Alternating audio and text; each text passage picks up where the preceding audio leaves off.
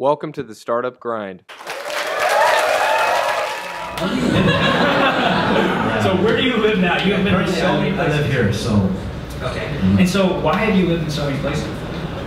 Well, um, are you recording? We are recording. this is going out to the millions and millions of people. Yeah, actually, I was born in Kuwait. Okay. Yeah, yeah, I always make this kind of joke that my, my father he applied for uh, for science. But this is this is recording, so I gotta say, um, my father he, he had a job in Saudi Arabia and Kuwait, so I was born there. I spent like 16 years in Saudi Arabia, Scotland, Denver, wow, and uh, Saudi Arabia, Kuwait, all different countries. Good. Yeah. And then how many languages can you speak then? You must know plenty. Well, I learned Arabic. Okay. So how would you Is there like anyone who speaks Arabic down here? Can you give us a little? Assalamu alaikum. كيف حالك؟ Okay. أنا بخير الحمد لله. Let's switch. And then I attended British school Mhm. and I learned English and French out there. Wow. And now we have our office in Beijing. Okay. So I'm learning Chinese and I attended um, Dale Foreign Language High School and there I learned Japanese as well. So I can speak several different languages, but most of the cases I speak French. Sure. So I'm gonna guess that's kind of was the catalyst that you started your company. Is this fact you traveled so much, you, Right. sh- you learned so many languages, and that's something you want to support people with. Right. So I got exposed to all different languages and cultures. You know, uh, my, my friends were from all different countries. You know, and the first thing I learned from them is like how to say F word in there. Okay, let's let's test it out. Let's test it out. So let's start with Arabic. It's recorded, right? That's okay. That's we'll keep it out. It'll be on YouTube, right? I'll just beep it. Okay, cool. So in, in Arabic, uh, it's right. It's we say uh. Right. Let's all say that together. And what else in? You don't have you, you don't Right. But so tell us, of, beginning of the Flitto, is this kind of when did you start it? Was this was it a passion of yours to learn languages, or was it just something that happened because of the way your life kind of evolved? So um, I started this kind of business back in 2007. Okay. I um, I came out with this website called Flying FlyKing. It was a crowd-sourcing translation website. And then um, I got a job in SK Telecom from 2009 to 2012. Yeah. So I worked as a, a startup investor in the daytime, and I worked as uh, and I founded my own company when I was in SK Telecom. Okay. It was more like inner house venture.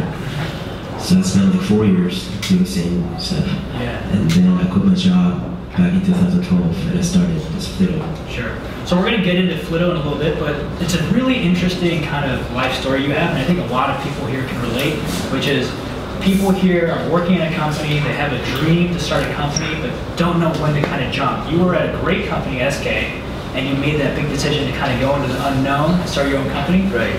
Walk us through that. Was it easy? Was it hard? Did you was it seamless? Did you think about it for a long time?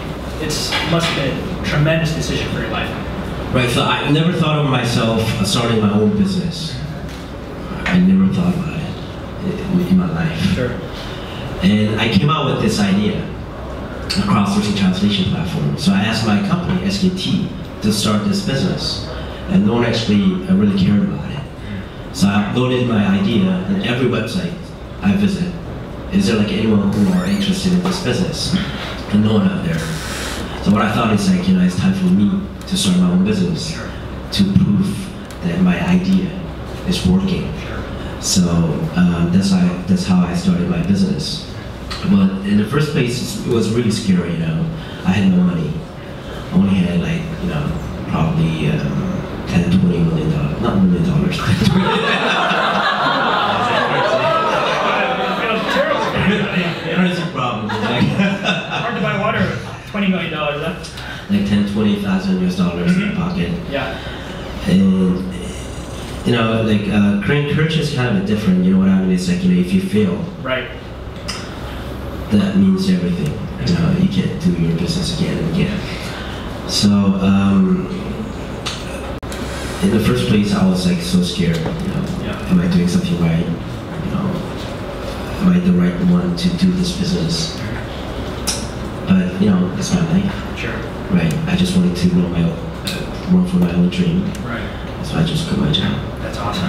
Well, I think a lot of people are going through that thought process right now. Right. Do you think that in Korea, 한국에서 그 failure 문화가 너무 힘들어서 Okay. how did you fight that? How did you kind of move through the fact that 아 눈치는 보는데 이거를 진짜 사랑하고 하고 싶어서 what made you said I'm gonna do this.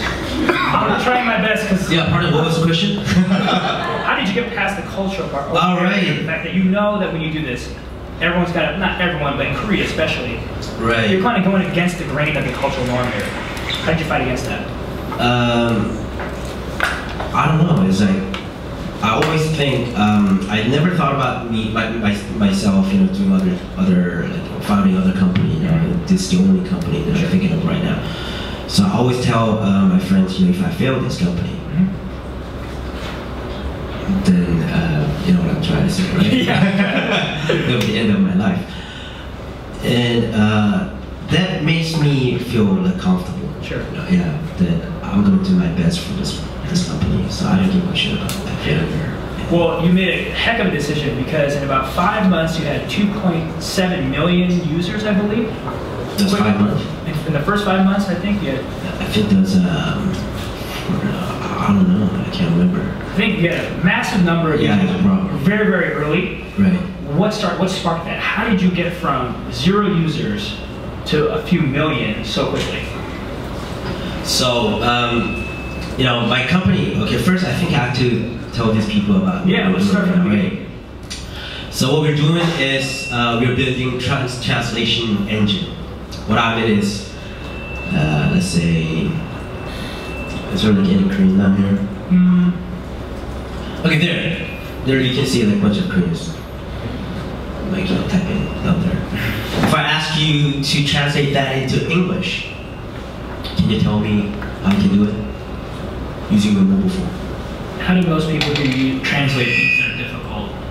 Right. Like if you go to a Chinese restaurant and you see Chinese menus on there, and how can you translate that Chinese into English? Any personal experiences out there? Google Translate. Google Google? Translate? How, how can you use Google to translate that into English? You know? It's like written on the, on the wall. Ah, You take a picture, but it's like handwriting. So not. Have you ever tried that? It, it never works.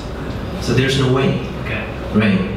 And uh, you know, if you go to China, let's say if you go to Saudi Arabia, you know, where, I, where I'm from, and where um, Merce is from, right? Yeah. And um, and you guys are looking for an interpreter who speaks English and Arabic.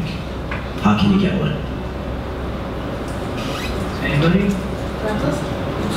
What is that? Craigslist? Oh, yeah, that takes time, right? Yeah, that takes time. Right. So we just we just wanted to make a platform between translators and requesters. So if you are traveling to Saudi Arabia, you know what you can do is like, I want to look for an interpreter who lives in Saudi Arabia, who speaks English and Arabic, and who gonna take like ten dollars within an hour. So you just type the number, and you can get the list of interpreters, and you can just pick one, and you can meet him, and you can do your business.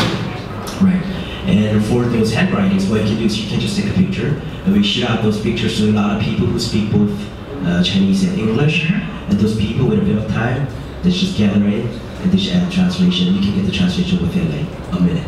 A minute. Right. So let's talk about that. I think it's one thing to take a picture of it and get it within a day. Right. But how did you develop a platform where people get it almost instantly? Right. How did you develop So in the first place, we had no translators, no requesters. 저희는 처음에 할 때, so I'm gonna mix it with Yeah. Korean and English.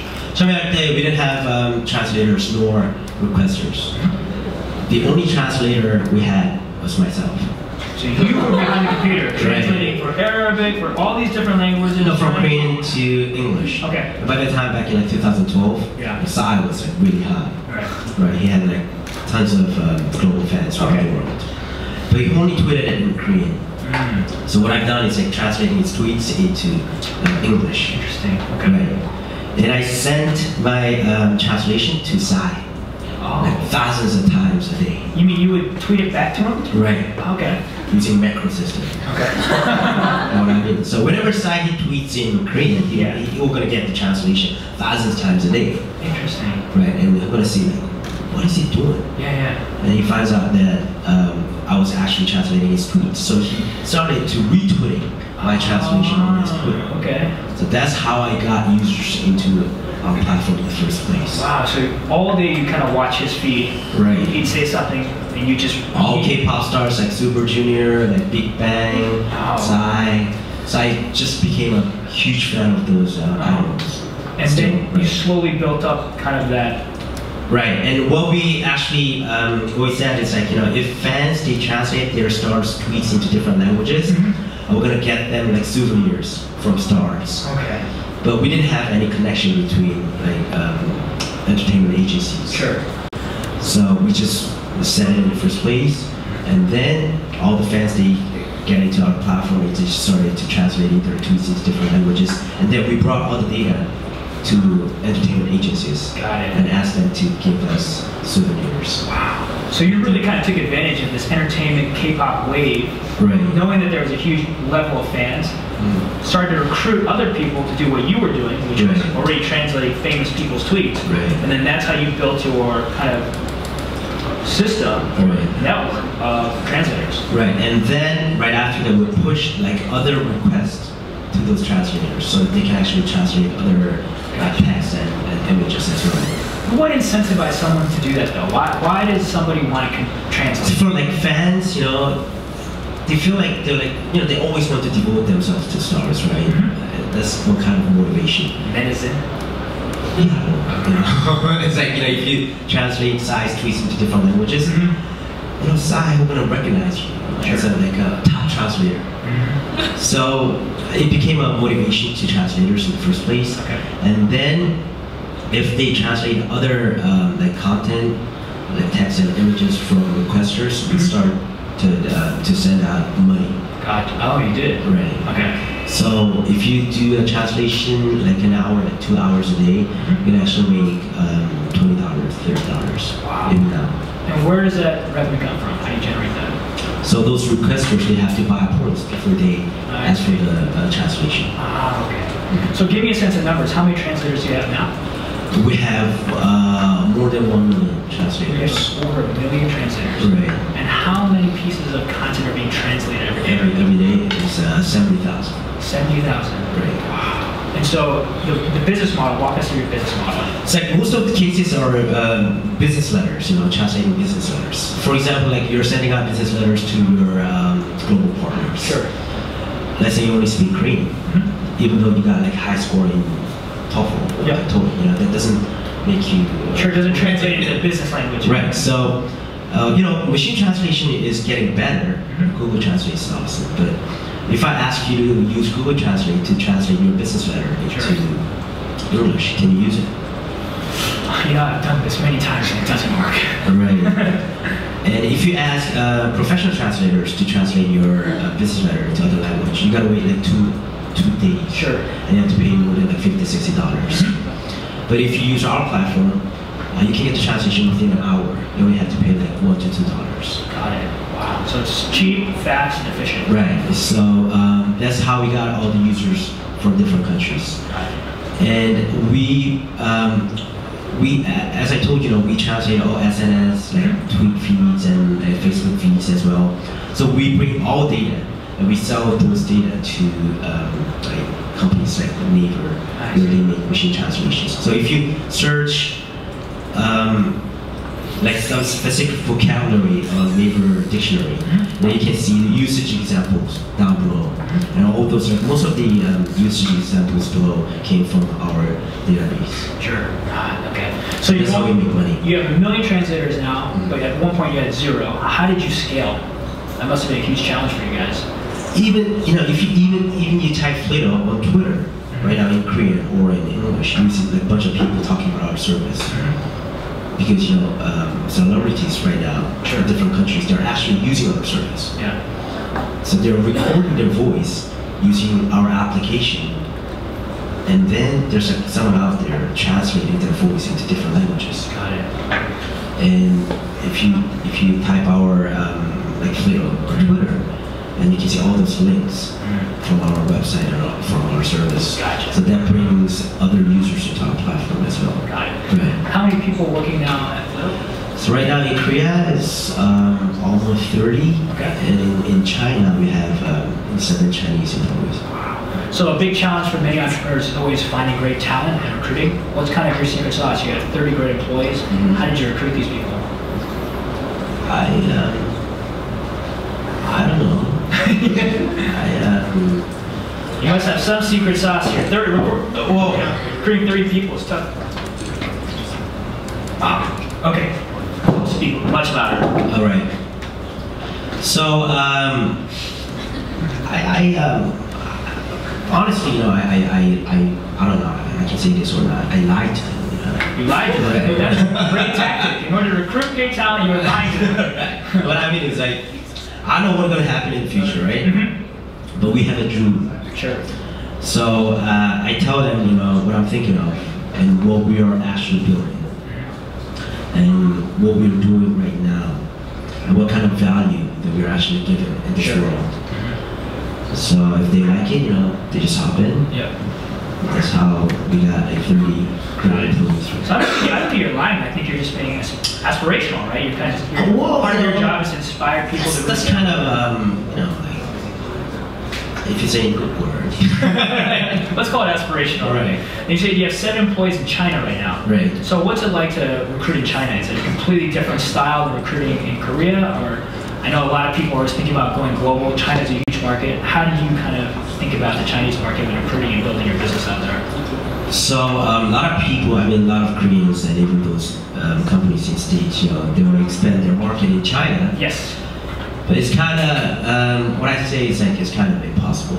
You think it's impossible? Right. Yeah. Because only Chinese, they can get license, like ICP license, you know. Mhm. Only Chinese are big, like able to do their business in China, like IT business. Mm-hmm. So um, it was really tricky for us to set our office in China. It took us like almost a year Wow.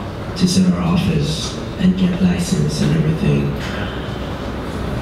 And still, you know, honestly, we don't know that we were doing the right thing or not. We're just uh, believing in ourselves. Sure. So when you made the decision to go into China, though, what were I mean? You, you yourself said it was a very difficult market to get Mhm. into. If you're not a local player, it's hard to go in there. What made you eventually say, "Hey, it's worth it. Let's go do this"? Where you're a young company, uh, but you're going to spend resources there. What was the final thing that pushed you over to say, "We're going into the Chinese market"? Because you know, there, um, you can definitely see the money in in China, you know, right? Sure. And their market is growing really fast, and they're doing business in global countries. So the need in translation is growing really fast in China. So we thought it's like, you know, if we can do our business in China, then we can like triple our um, our size Got it. like globally. So it made us to, you know, chance and do our business in China. So we have a lot of entrepreneurs here, a lot of people thinking about starting their own company, or people who have started their company, facing a lot of challenges. What were some of the biggest challenges you faced um, when starting your company? Having too many account. Yeah, well, I think, you know, just like other guys, uh, every day, every single days, I face like a new challenge. And because I had no experience before, you know, I didn't know what to do. Even like how to hire employees, you know, all those accountings and everything. Sure. But these days, you know, what I feel is like the most difficult thing is like relation. Hmm. Building relationships. Yeah, with the employees. Yeah. Right. It's getting more difficult and difficult. Why is that? Do you think it's because your company gets bigger and bigger, it's harder to keep Because I get to talk to every single employees. Mhm. It was like less than like 10. But now it's like almost 40, Got it. including like employees in China. So I had no time to talk to them like individually. So it makes me, I don't know, it- it's, um, I don't know, it, it makes me harder to know what they're thinking. Sure. right? And what they're facing right now. So what I think is like, you know, if my company grows like bigger and bigger, Mhm. it will be more and more difficult. That's Yeah. what I think, right? Sounds like you really love having a close relationship with the people you work with, and as you scale, it gets harder and harder to kind of Right. stay that kind of tight family. one of the best ones, Sure. right? Uh, so funding wise, that's another big issue that a lot of people are always curious about. How did you approach funding, getting financing? Um, was it something that was always on your mind, or did you always try to maybe not receive funding and try to fight it through it? So we've never, um, we've never done IR. Never. Never. Uh, and you never had it, you never had the ambitions to, you don't think you need it? No, we actually we secured uh, five million dollars Okay. from four different investors. Um, you know, we we just stayed in our office. Uh, it was very lucky for us to meet those investors. They um, came to our office and they, they listened to what we're doing and they just decided that they want to invest in our company. Well, five million dollars is a lot of money, though. So Right. how do how do you how do how does it begin? How does that process even begin? How does that just happen? Were you really just sitting in your office and people just came in and said, "Yo, we want to give you five mil. This is awesome." Yeah, well, it was like that. It was like yeah, that. right. Okay. I was in a network. You guys are all working way too hard then because you should just be staying at home. Actually, I was working mm, as an investor before. Okay. So I knew like several investors. Mhm. So we were at the networking party, Yeah. and I, I, I told them I'm gonna keep my job. I'm gonna start my own company. Okay. And they asked me like, what kind of company? And I started to uh, introducing my company to them, Mhm. and they said, um, Simon, we're gonna get investment. I'm like, well, you know, probably. Yeah. And they said, well, how about um, 800,000 US dollar? That's a seed round, just a seed Right, round. as a seed fund. So I said, oh, that's great. That's how I got investment in the first place. okay, you made it easy. And then in terms of valuation, was that a big, any tips for people when they think about valuation? Um, you know, you were, you were on both sides. You were an investor and you're an entrepreneur. So let's talk about as an entrepreneur. You have investors coming to you, they're always kind of lowering your valuation, and you're trying to elevate. How do you kind of battle that and find a happy uh, medium to agree on a good valuation for your company? Well, thanks to our um, current investor, DSC, Mhm. you know, um, they, they gave us really good valuation even in the first place. From the first place. Right. So you just go to parties, you just get millions of dollars, Right. and they give you good valuations. Right. Okay, this So- is amazing. No, I really love um, those guys here, DSC guys. Yeah, I love them too. I Right. never met them, but I love them too. You know, D, you know what it stands for, like DSC? No, D is like dream, dream. like sh- DSC, right? S is like shelter, Okay. and C is like charity. Mm. So I'll be, uh, I'll be a shelter for your dream, Mhm. and if you make money, Yeah, let's go out for charity. got it. Right. So the CEO, Mr. Yin, is um, is a really good guy. So what I thought in the first place, like, Simon, what you're doing, I don't know that I'm gonna successful or not, but I, I just like the way of your thinking. I see. So I'm gonna buy your dream, Sure. and I'm gonna invest 800,000 US dollar with a good Wow. So it sounds like you found a great investor who believed not just in your product but your vision. So Right. vision really matters, and then it also matters that you built a good relationship personally with him as well. Right.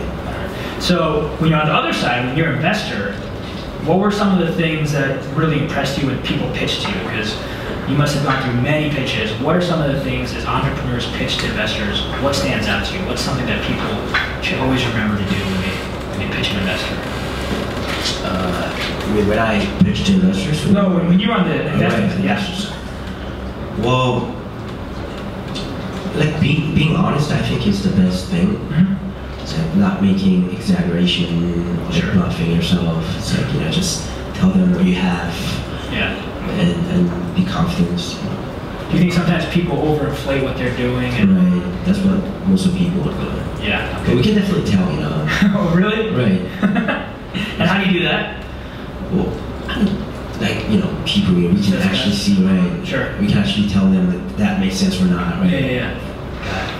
Uh, so moving forward, Flitto, what is the big vision? I mean, where do you see yourself in three or five years? Where do you want Flitto to be? So instead of people saying, uh, translate this, Mhm. we want people to say, feel this. Flitto this. Right. So like, you know, these, days people just say, Google it. Google it, yeah. Right. So we want people to say like, feel it. Instead of saying like, translate it. Flitto that. Right. Heck out of that. Right. Yeah. And we're getting all those data from like museums, like in every um, historical places. When I'm in it's like, if you take a picture of this sign, Yeah. we can get all this GPS information. This sign right here. Yeah, you know, using your phone, right? Mhm. And using our um, application, we can get the translation. Sure. So if other other guy, you know, he takes a picture in a similar location, you know, he or she doesn't have to wait for the translation because you know there's like data inside of our, our system. Interesting. So we push our translation packet to its uh, application. Got it. So what you can do is that you can bring our application and you can go to some like different places. And you don't have to take a picture, you just put your phone there and you can get the translation right away within a second. Wow. So we are right now building that system, and I think you know you know you, you I think you can use that application by um, probably early next year. Wow. Okay, so it sounds like you're gonna just kind of reinvent the language. No one will use the word translate, and they will just use Flitto. Right. That's an awesome goal. That's awesome. So you have 30 people now. Uh, how many of those are engineers and marketing? How, break it down for us with your company. It's like 50% engineers, Okay. and other 50% is marketers. Got Like it. very. Finding engineers is always kind of a tough battle. Where do you find great engineers? So um, we have like two co-founders, Mhm. and they have um, engineer backgrounds, and they always look for um, good engineers with like high salary. Sure. Yeah.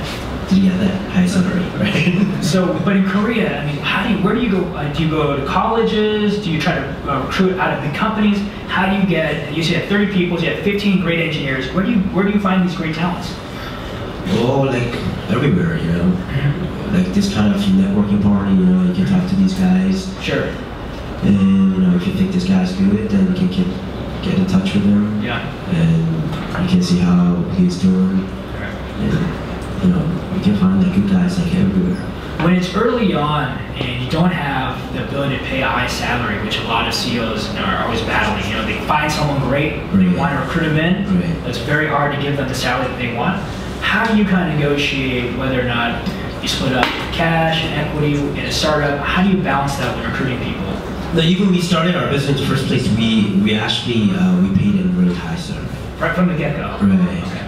Because you know, me and uh, other two co-founders, you know, we didn't get anything. So you guys didn't pay yourselves at all? No, Wow. right. How did you just kind of survive? I don't know, like eating uh, ramen every day, right? 7-Eleven? Right. Yeah, So startup events and eat pizza? Right. Yeah. I just uh, ate three pieces of pizza. You can take this water if you Right. want Thank to. you very much. I'm gonna bring out two of them. Okay. So that's it. That's really interesting. So I haven't actually heard that a lot. So you really you believe in paying people the salary they deserve right from the beginning. Right, because you know you can't just tell them, you know, we're gonna, like, you know, we're gonna give you like better compensations next time, Mm-hmm. right? We can just give them that kind of hope, Sure. right? We have to show them, you know, what we got. Right.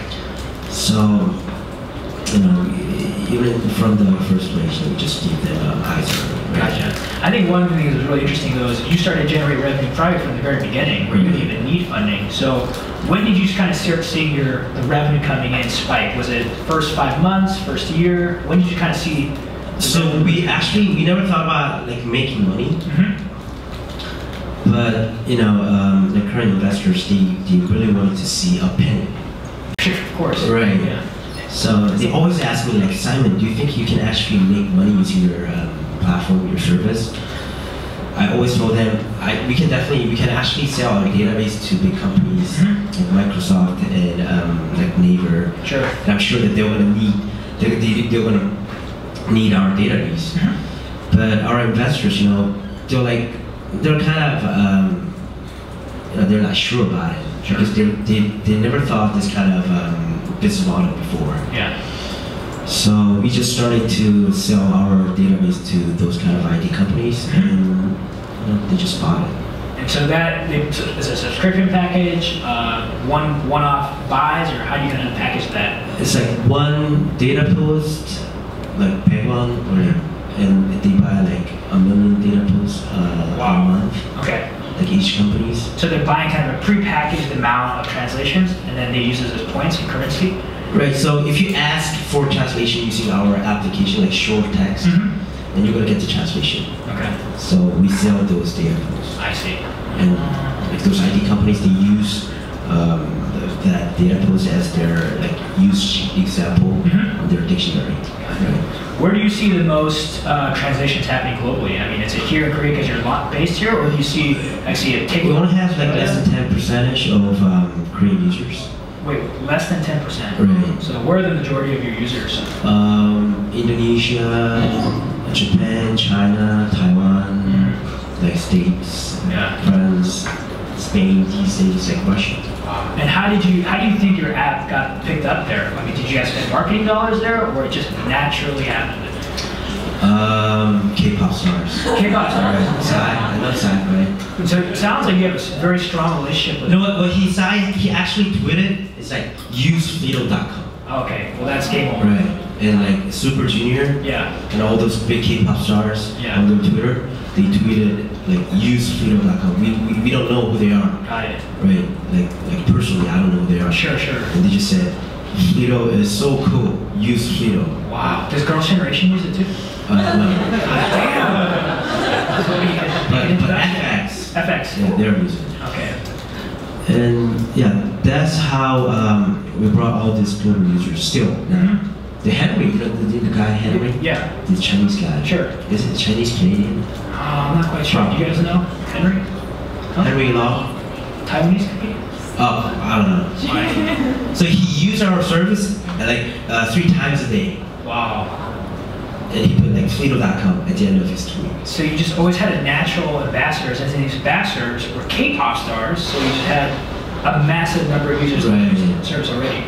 I, I, I love these It sounds like the strategy really is stay home and you'll get funded, pay en- engineers a lot of money, and tweet at Psy and you will have great success with your company. No, what I mean is like, you know, I um, I spent like 16 years in different countries, you know. Mhm. In my mind, I always thought about this translation system Yeah, yeah. for like entire my life. So when I started my business back in 2012, I just knew what I had to do. Yeah, So it's easier for me to do my business sure. And build up this platform Mhm. and application. You know, I started my business back in 2007. I failed, failed, failed. I failed for like six, seven years. Sure. I didn't, I didn't know what to do, right? But in uh, 2012, like people they started to using a smartphone, Mhm. then I just realized uh, I think it's the right time for me to do my business, and this time I think I can do it right. Got it. You know, I want to touch, touch touch upon that a little bit. So you said you failed and failed and failed and failed, Right. but you kept going. Right. What keeps you motivated to get back up when you fail? Why why not just go back into another big company and stop stop failing in your eyes? Because, you know, I, I just thought I could do better. Mm-hmm. Always, you know, when I, when I failed, then I, I, I thought like, I think I can do better next time. I can do better next time. I can Sure. do better next time. Right. So it sounds like you just had a great amount of self motivation. Right. Does that come from parents, family, friends? I don't know. Maybe from uh, Saudi Arabia. I don't know. Saudi Arabia, from Sai? Yeah, oh yeah, I survived in um, desert. You know, Sure. That's right. Yeah, so you can survive anything. Right. Uh, one of the last topics I want to talk about is just the Korean startup ecosystem as a whole. Obviously, you're starting to see these kind of groups pop up more and more. Um, what excites you about the Korean startup system? I mean, this is blowing up. I mean, you're a big part of it. Um, what excites you about it? Yeah, back in 2007 when I started my first um, company, Mm-hmm. you know, there were nothing. Yeah. like no accelerators, no incubator, Sure. nothing. You know. So I was actually looking for an investor, but I couldn't find one. Well, but you know these days, like all this um, like system, like everything is getting better and better. You know, I see a lot of uh, young people trying to go for their own dream. You know, it's like culture is kind of different. You know what I'm saying, right? Totally. So your parents they always ask you to get a job for big companies. Sure. Like Samsung, LG, Mhm. like SK. All our wonderful sponsors, which we were really, really happy about. Uh, right, right. well, right. What I think is like I don't, I don't think you know that's bad, but Yeah. still, uh, like young, smart people, you know, what I think is you know what they have to do is like they have to grow the market size of their own com- own, own country. Mhm. That's what they gotta do. But in Korea, you know, if you um, if you go to good university, like Seoul, like Korea, Sure. know, you know, what, what they do in, in university is like they study to become public officer, right? The, the place, you know, where you can do the same stuff like Sure. you know, right? Because you know they don't they don't want to take all the risk.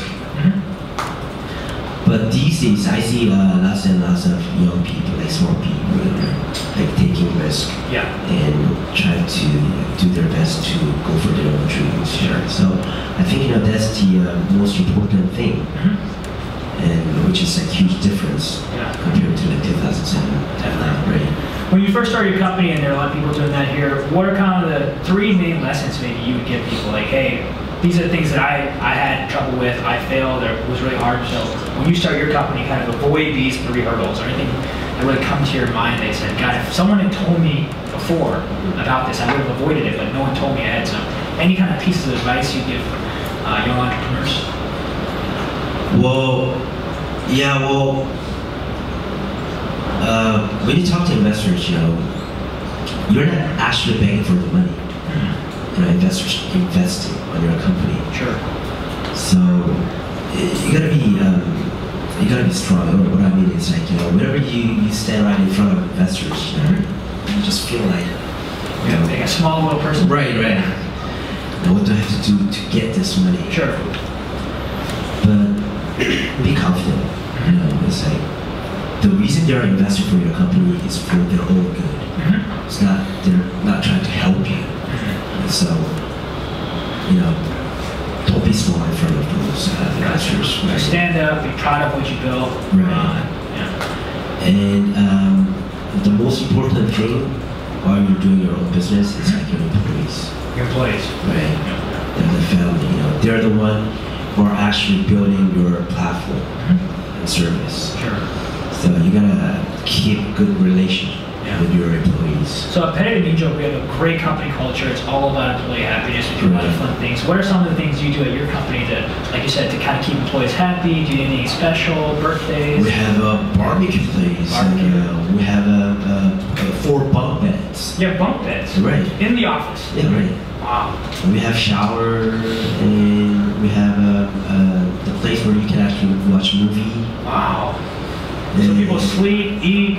Free breakfast, free lunch, free dinner, Yeah. and free uh, fitness club. Wow.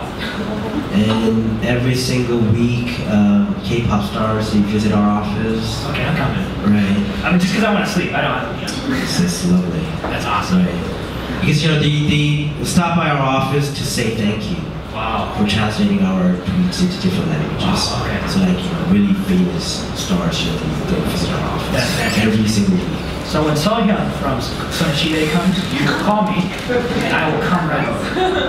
Definitely. Know, because she's not my type. All right, so we have about 15 minutes left, and we're going to open up questions uh, to the audience. So, um, anybody have a question? Okay, start right here. Or well, let's start right here. And oh, Yeah, thanks for your. Okay, hi, um, my name is Kelly. Um, I just want to know how you came up with that tweeting Psy idea. Like, did you like sit there with your co-founder, like talk to him, like had a meeting, or or just like randomly came up? So um, my other two co-founders are engineers. You know, they have things to do, right? But me, you know, I'm, I'm- I'm the marketer, right? yeah. So for them, you know, uh, probably they thought that I'm doing nothing. So I gotta do, I, I had to do something. So I just pretended uh, that I'm doing something. So I just, You're pretending of doing something. Right. So I just found out, okay, if there's if there's no translator, then I'll be the one. Yeah, And what what should I translate? sure. Well, probably Psy. You know, Gangnam Style was really famous by that time. So I just uh, started to translating. It was very spontaneous. Didn't really plan much. Mm, well, no, actually, um, I, I told my co-founders that if I translate his tweets into different languages, and if I send out my translations to Psy again, then definitely he's gonna recognize my translation and we're gonna retweet it. How many tweets did it take before he retweeted? How many times did you really have to get going? Uh, Before he recognized, wow, this is cool. Probably a month. A month. Wow. Okay, so you're you were hanging him up for a month straight. I translated um, like Psy, all different K-pop stars and Chinese stars and um, like Brazilian stars, you Wow. know, like writers, and most of them they retweeted my translation. Got it. That's really cool. I think it's really, really innovative, very interesting. I know we had a question in the back. Yeah. Just gonna wait till our mic gets there. I actually don't think it's appropriate, but I was going to ask an engineering question. That's okay. What? Engineering question. Right. Yeah, get ready to go. Um, for your customers in China, there's a big lag when you're trying to get outside of China to the rest of the world. So do you, how do you distribute your hardware so that your customers in China are able to access your service quickly? So we have two APK system. So one is for like global users, one is for Chinese users, but we share the same server. So that's what we do. Right. Because you know, if you try to bring out your APK, like the, the APK you use to China, it never works down there.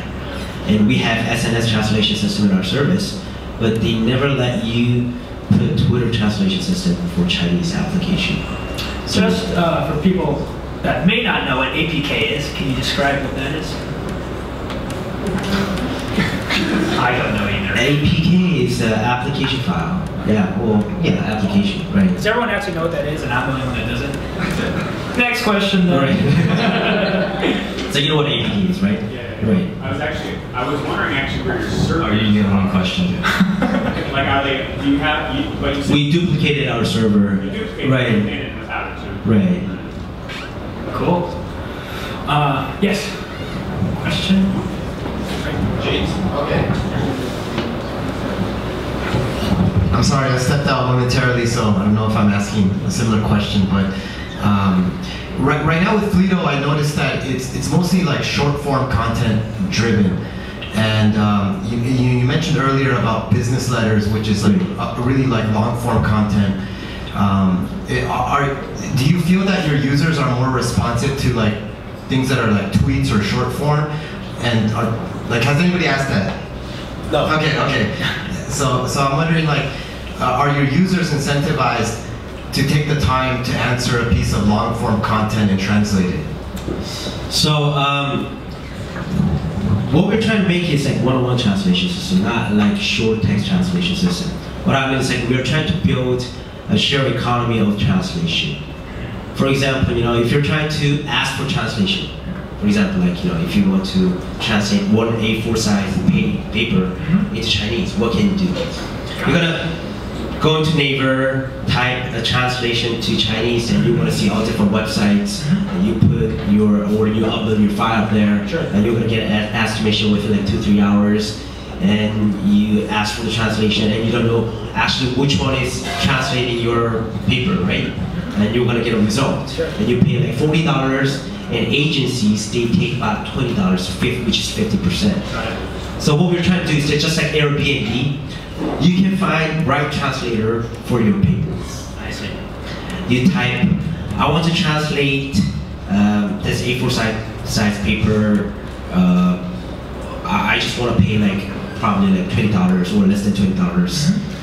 And this this paper is about um, probably like entertainment. And you set all these numbers and everything, and then we give you a list of translators. I see. And you get in there, and you can see history of translations that translators actually made. And you can pick right one and ask for the translation. It's just like Airbnb system, right? So, um, so what we had to do was uh, build out credibility for each translators and escrow function. So for credibility function, we had to make them to translate short texts, so that actually you can find out this translator is good or not. So that's how we first started to translate short texts from SNS and send them to translate those into different languages. I like the term you use, the shared economy of translation. It's really Right. cool. Yeah, I think it's a great way to kind of summarize your business. Absolutely. Um, any other questions we have? Yes. We'll just, Jim's coming right behind you. Hi, my name is Mike.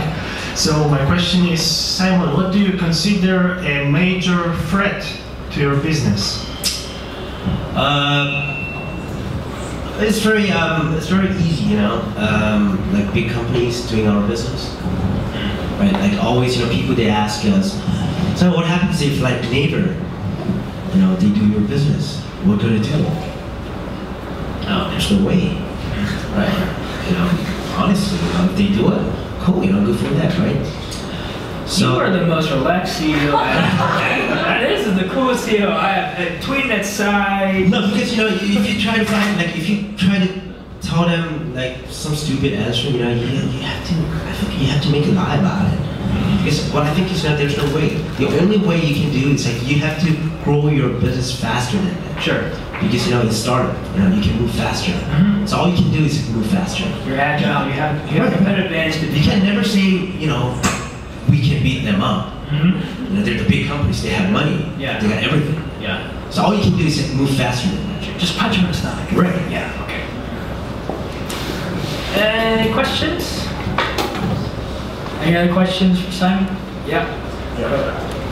Um, as soon as I uh, signed up uh, meeting today uh, about a week ago, so uh, I, I, I made an account in, uh, in Fri-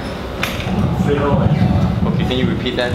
Yeah, hi. Uh, yes, uh, about a week ago, or two weeks ago, um, as soon as I, I came to know about this uh, event today, um, I made I made myself an account on Flitto, and uh, I guess uh, as of today, accumulate or I accumulated like uh, 14 14,500 points or so. It's near like 14.5 dollars. And the reason is um, because I wanted to see myself that um, on your site that it indicates that once you accumulate uh, 50, 50, um, right. you can uh, Cash out into you your can, you can exchange it to a PayPal money. Right. Can you uh, give us some more detail about it? Uh, how how you contacted PayPal and how you make made a deal with uh, PayPal? That's a great question. So, um, you know, first if you uh, sign up for our application, you know, we don't know how good you are as in, as in translator, right? So we give you short text for like probably two, three months. And then that gives you, uh, that, that like, you know, makes us to understand how good you are. And if you're good enough, then you can get one-on-one translation requests. And if you make more than 50,000 points, using PayPal, you can actually cash out into real money. You, can make a bank account, and you connect your bank account with PayPal, and then you can actually draw money to you know, your account. So I guess you have to uh, contact PayPal and make a kind Right, right. It's very simple. It only takes less than a minute. Uh, so it's it's not something uh, uh, unique between your company and PayPal. No, no, no. Right. It seems like it's just a product or API integration. Right, Okay. right. So um, there's like some students in Indonesia. They actually make like thousand dollars a month. Thousands? Right. Wow. They're, they're students. They just do translations for four hours a day, and they make a big pocket money with it. And how often do they get paid? How often? Two weeks? How is it just?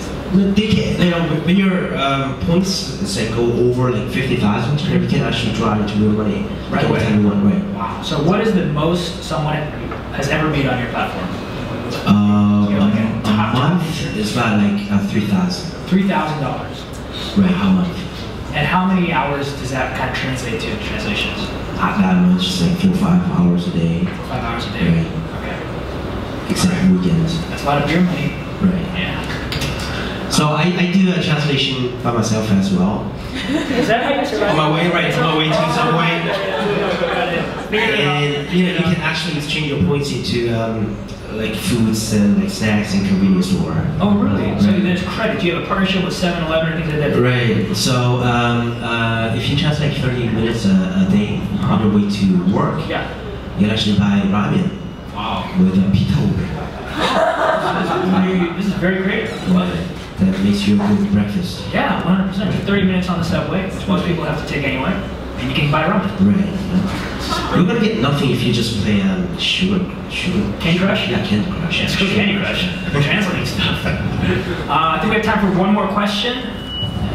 Oh, shoot. Uh, we'll just try to bang bang do the last two. Oh, who is it? Right. Purple shirt. Mark. You're closer. Thank you for giving me. Thumbs. Uh, yeah, thanks for giving me a chance. Uh, I just visited your site and it looks like a much more the uh, casual translation. It's focused on the casual translation. But I wonder if you have any plan or you do what you are doing uh, some kind of more, more technical or professional translation service. And I think it is much more important and it can it can bring you more More profit. Yes. Right. So we are doing uh, professional translators as well. Ah, you're Translation, right. So um, for like those people who want casual translation, what I mean is like if you only want to pay less than five dollars per uh, one A4 page, you can ask for, for like university students on our websites, you know, and they're gonna do some casual translations for you. But if you need like professional translation, you can look for professional translators on our website. And if you search translators, we're going to give you a list of translators and professional translators. Then you can ask them to translate your whatever, your material. And you only have to pay about 70% compared to other agencies because you know we don't we take nothing. No, But no commission. less than three percentage. Just like Airbnb. Yeah. And final question was right, right here. It's a simple question. How do you control mistranslate? Because translate is uh, only on the online, and you don't control the. Right, that's a that's a really good question. Quality control, yeah. So let me ask you a question. Uh, I was talking about shared economy, right? So you you found really nice place, like nice picture of a house from Airbnb, and you actually you visited there and just found out that this place is like shit. so who takes responsibility for that? Airbnb or the guy who provided us as accommodation? Which one? Airbnb. So no, I mean Or the guy who took the picture that wasn't realistic. Right. So in on Airbnb, the terms and conditions is like you know if two places are totally different, than Airbnb takes responsibility. But it's really hard to tell if this place is totally different or not because you know it's a picture. It's up to your perspective. Right. So um, you know on the list of our translators, you can actually find out you know what kind of work he has done before. You can see all the scores of the translations he actually has made before. So it's up to you to find the right one. But if you think this translator is like real, um, you know, shit one, then we give refund. I see. Right, and we have like tons and tons of QC guys, you know, they actually check. They can't check like 100% of our uh, translations. They check like less than 10% Got to find out that this one is good or not, right? So it's still up to the user to kind of make sure that what they're getting is what they wanted, and um, you guys just make sure to facilitate uh, the two parties. It's awesome. Well, this has been an awesome conversation, very insightful. Um, it's a very inspiring story. So I just want to thank you once again. You guys. Huge round of applause for Tom.